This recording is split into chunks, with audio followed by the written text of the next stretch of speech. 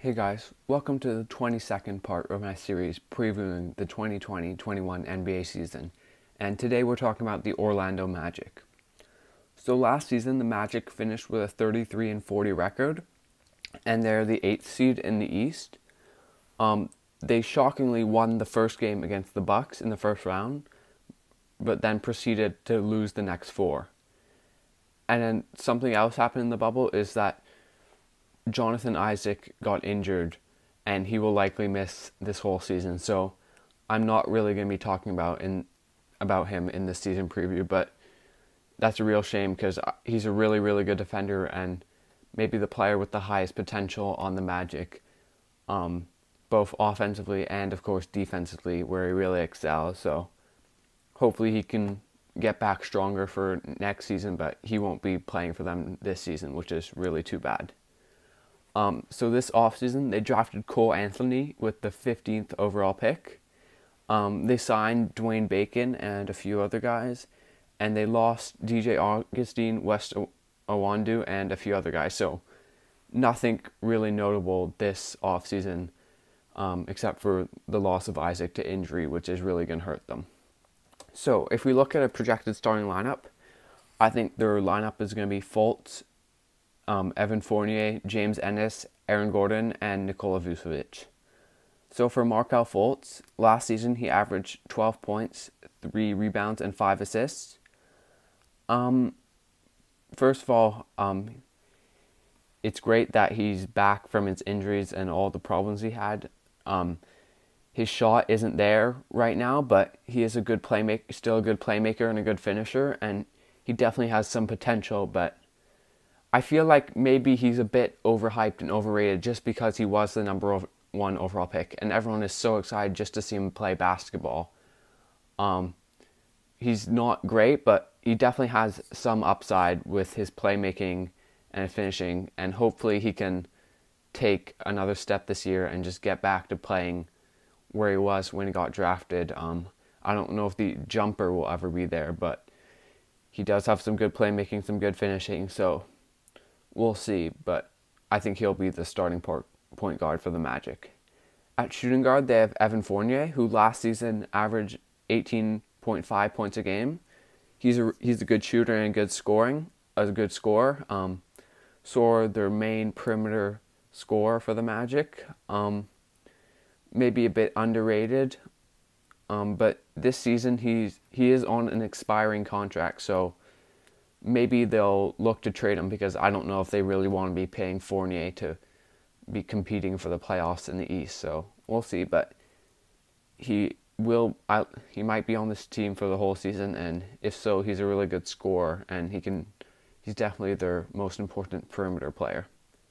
And they have James Ennis, who you feel is sort of just the placeholder for Isaac for when he gets back. Um, last season, Ennis averaged about eight and a half points and five boards he's a solid defender. Um, and there's just questions about shooting. If he can be a good shooter, then he can be a decent three and D guy. But if not, then um, it's a bit shaky.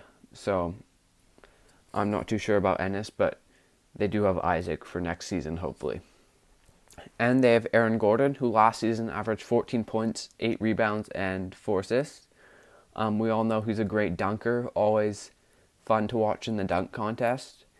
And we've been hearing about his potential for quite a few seasons, but it's never really come to fruition. Um, he he definitely has that potential defensively, um, but the thing is, he's just not a very good shooter offensively, and he hasn't fully reached his potential. And I think maybe a change of scenery could be beneficial for him instead of just staying with the Magic, where it feels like he's kind of stagnated.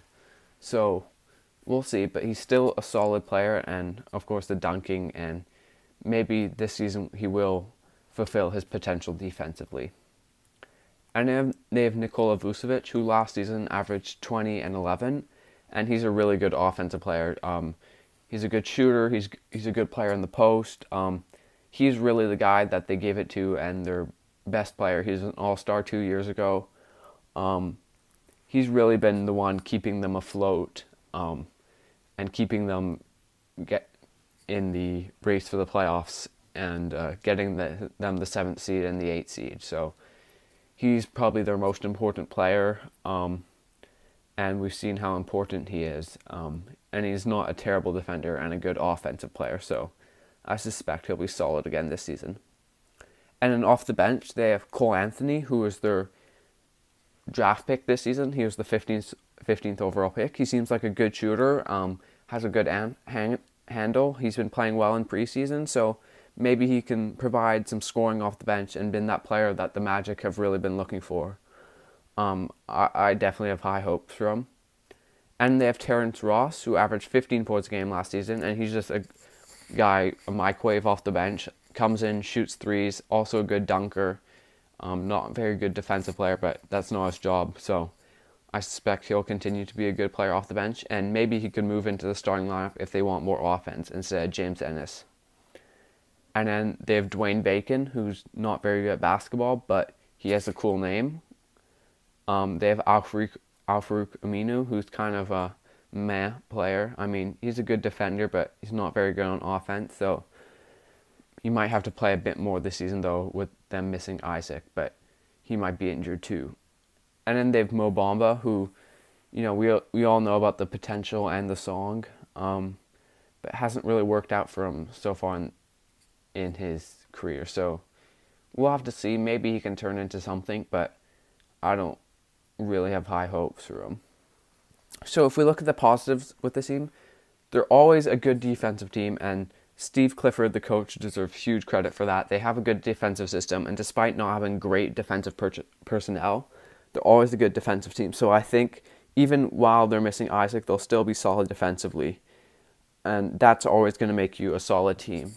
And this is just a solid team. They have some good NBA players in Vucevic and Fournier and Gordon and then they've a bit of potential in Fultz and Anthony, Terrence Ross off the bench. So this is a solid team. Um, their backup forwards and center aren't great, but um, everywhere else they're pretty pretty solid. And then they have Fultz and Cole Anthony's potential. So some positives with this team. It's not all doom and gloom, um, but I just feel like they're a very average team.